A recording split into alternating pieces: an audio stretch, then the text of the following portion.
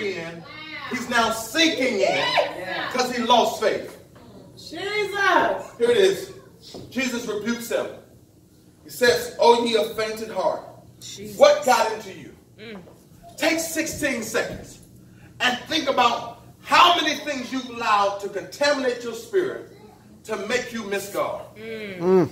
Jesus. How many conversations have you been having that were ungodly, were unbeneficial, uh-huh. were unfaith building, and they caused you to slip away from what God told you before? Uh-huh. Wow. I, I had to look at it. I had to look at it, twin, because I, I, I started hanging with folk Come on. that didn't have the same faith. Yeah, me. yeah. Come on, say that. So instead of me saying I'm gonna become, I started saying I wish I could be. Come on, come on, come on. my my conversation Yeah. as. Yeah. That's why you gotta be careful in this season in the house of God who you allow to connect with your spirit. Oh, y'all ain't gonna talk Come on, to me come now. on. I, I don't need to hang with you. I don't need to talk to you. I don't need to go to IHOP. We ain't gotta go shopping. We ain't gotta get our nails and feet done. Cause baby, where I'm going, your faith ain't going in the same direction. Come on, come on. Say that. Say Yes, sir. All of the disciples on the boat. But none of them said, let's get out there with Peter. Come on. None of them. None of them said, man, that's Jesus. That ain't no ghost. Just go to him. Yeah. Mm. But what they did was what most church folk do. They stayed in the place of safety Come in on. case Peter failed. Come on. They can stay where God can Come save them. on. But let me prophesy to you, in this season, you got to be bold enough to take some steps Come on. on the word of God. Yes. Yes. Come on, sir. Jesus did not hesitate. He reached down and grabbed his hand. Then he said, Fainted heart, what got into you? Here is what got into Peter. He became so focused on his circumstances Uh huh. that he lost faith in the very thing that could save him. Yes. I came to prophesy to some of y'all today to let you know, just look up. Yes, sir. Yes. Yes. If Peter was sinking in the water and was still looking down, all Peter had to do was Was look, look back up. up Yeah. and he would have rose. That's right. That's right. The problem with some of us is that we refuse to look up because we think he ain't there no more. Right. Wow. Wow. We, we think God has left us. God, I messed up. I fell. I, I slipped. I stumbled. And God, I know you ain't in the same place that you was when I left. And, and the Bible really will tell you he's married to the backslider. He's going to be in the same place where you left him. That's right. That's right. Most of us are waiting on God to pull us up. And God is saying, I'm not pulling you up. I just need you to look up. Come on. Come on. Because every time God pulls you out of something, he saves you from it. That's right. But sometimes, as Job, God has to let you go through something. right. so you can learn from it. That's right. That's right. That's why I stopped praying, God bring me out, God deliver me, God snatch me out of this. No, I don't pray no more. God teach me something while I'm in this. Right. Show me what I need to learn so that when I go through this again, I ain't gotta act like no punk Christian. Come on, come on. That's right. That's right. We got too many folk in the church whining and complaining and they need God to bring them out. And God is saying, if you just look up to me, you'll be all right. That's Yeah. right. Stop running to social media, Facebook, Instagram, Twitter, Come on. Yeah. Yes. Yes, Lord. Peter, I'm done. Peter, Peter jumping out of the boat, he gets, he begins to sink. Jesus reaches down, grabs him, and rebukes him. But here's my favorite part of the text. When the two of them climbed back into the boat, Come on. the wind died down. The waves ceased, and the disciples that were watching began to worship with them. Your greatest example of being in the will of God is when everybody who was watching you sing now has to worship you and what saved you. That's my best point. If you don't like I'm going home. The best part of being in the will of God is that when people that were watching you sing are the same ones that's got to raise you, watch you raise back up, and say, wait a minute, they were with God the whole time? Surely God is real. on. Come on. Say that.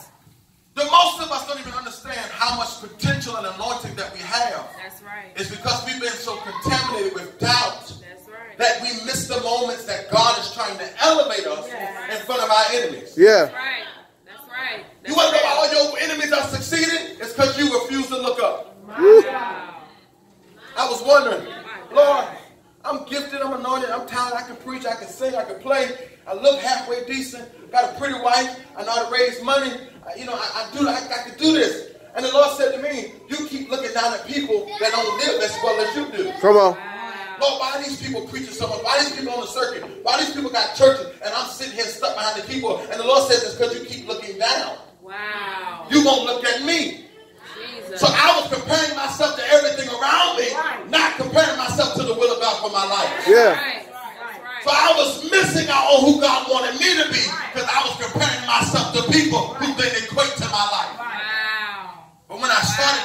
up, when I started looking at God, saying, God, what you want me to do? Yeah.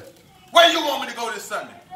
Because I, I, I'm at the point now where if God wakes me up on Sunday morning and says, go to this church, I got a word for them. Uh-huh. That's right. Hey, true way, I love y'all, but the Lord's sending me over here. Yeah. That's right. Because at the end of the day, I'm not here to please man. I'm here to please Please God. God. That's Y'all right. missing what I'm That's Come on, right. come on. I, I'm not trying now. Don't y'all get no idea to say God called you to be a prophet and Come go on. start no church. Come That's on. not what I'm saying. I'm saying that I've been ordained to go evangelize, and if the Lord gives me a word, I'm gonna obey God within my ordination. Yeah. And I see some of y'all face, well, I ain't coming to church next Sunday. I got a word. Oh, the devil is a lie. You better submit to your pastor. Yeah. Yeah. But when I started asking God, God, what do you want me to do? What do you want me to say? Where do you want me to go? Who, who do you want me to minister to? I be on Facebook and just sitting on my desk and I'm supposed to be working. Y'all said it's supposed to be working. I be on Facebook the Lord says, minister to so-and-so and so-and-so today. And I reach in the inbox and start ministering to them and just praying for them, telling them I'm there for them. And people, people respond, man, you have no idea. Yeah. I was so down today. I was ready to give up. But your word encouraged me. And if, I realized that my assignment was not just behind a pulpit. Come on. Right. Come on. That's Come on. Right. My faith was not sold on how many people said amen. Yeah. My faith was built because I obeyed God and I saw the results Yeah. That's right. That's right. of what I was supposed to do. That's right. But when I stopped looking down and looked up, I started getting more satisfied in myself. Come on. See, most of us ain't satisfied with ourselves because we're living beneath our potential. Y'all ain't talking to. Come on. Come on. We living beneath what God wants us to live. Come on. And he's saying if you just have faith and look at me, you'll have what you desire. That's Yeah. right. That's all I came to tell you today. I ain't came to hoop you and shout you, but I came to tell you to look up. What's up? Because here's the problem. If you never look up, you're going to walk into so much stuff That's right. That's right. because you can't see. Come on. Come on. I was so busy leaving the church the day trying to get here. I said, Pastor Cookie and all them, they're going to kill me. I'm running late. And when I came around the curve, I was so busy trying to text Tasha and them that my back tire slid into a curve. And when I looked up in the mirror, I saw the dust from the hole I had went in. Uh-huh. Come But on. I realized that if I had been paying attention, I would have never hit that hole. But here's the goodness of God. The hole was deeper than my tire. Yes, sir. Wow. But the only thing I saw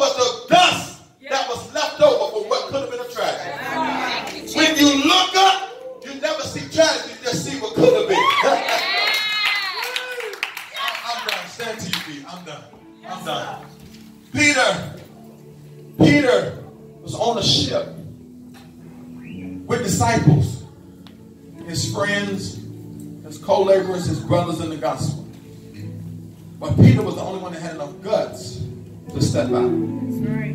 Peter was wrong because he did not acknowledge who Christ was.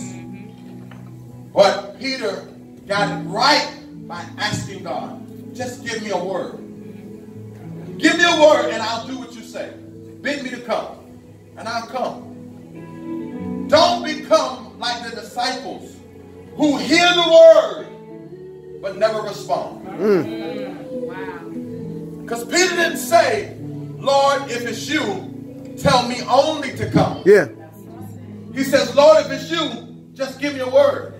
Bid me to come. Yes. If I was one of those disciples and I heard the Lord say, come, guess what I'm doing? I'm coming too. Watch out, Peter, I'm going first. Mm-hmm.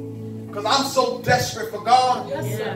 Whatever word that's in the atmosphere, I'm taking it for myself. Yeah. That's right. That's why I get so concerned about people come to church and hear the word and just because one person get blessed, you don't think you qualify for the same blessing.